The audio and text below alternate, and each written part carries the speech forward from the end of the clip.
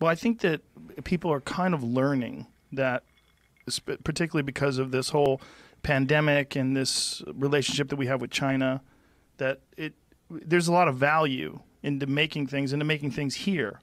And um, you know, like make, making a car, it's an honest day's it's an honest day's living. That's for sure.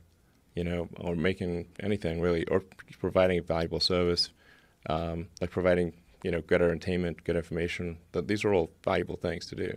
Um, you know, part of it is like uh, like I have a bunch of houses, but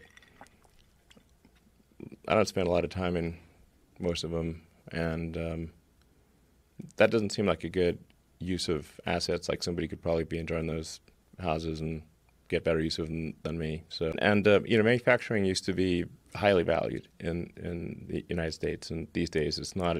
It's it's often looked down upon, which I think is wrong. Yeah. Well, I think that people are kind of learning that, particularly because of this whole pandemic and this relationship that we have with China, that it there's a lot of value into making things into making things here. Yes, somebody's got to do the the real work. Yeah. You know, and um, you know, like make, making a car, it's an honest day's it's an honest day's living. That's for sure. You know, or making anything really, or providing a valuable service, um, like providing you know good entertainment, good information. That these are all valuable things to do. Um, you know, part of it is like uh, like I have a bunch of houses, but